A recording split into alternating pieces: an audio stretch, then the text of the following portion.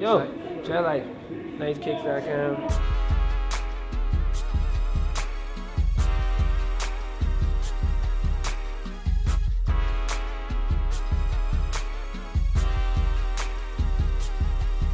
Cause we get like we get money through this through the industry, right?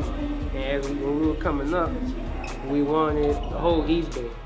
Like we wanted every color, every of everything, but we, we didn't have it. You know what I'm saying? So like this point, while you hustling, you can get that. So now it's like there's no excuse. There's no excuse for your not to be like smacking every time. Like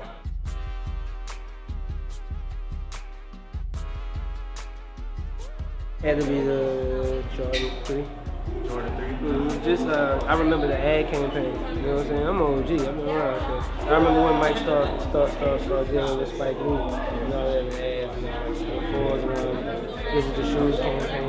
That whole time, all that was going on.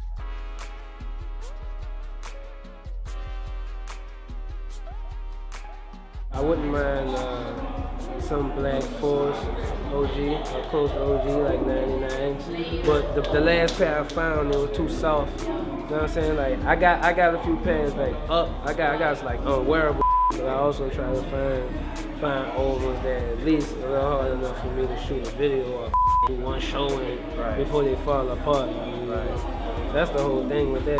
Like, you get them and then it's like, like I know I can't wear them, but at the end of the day, you know you're gonna wear them, so so you got to keep looking. Like no matter, like don't just don't throw on the first one. Wait till you get get a pair. You know, they, they shoes. You do want to put them on.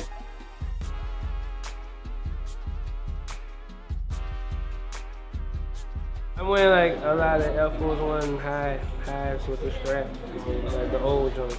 I wear a grip of those now, so every time I, I see a guy, of those, you know what I'm saying, I do that.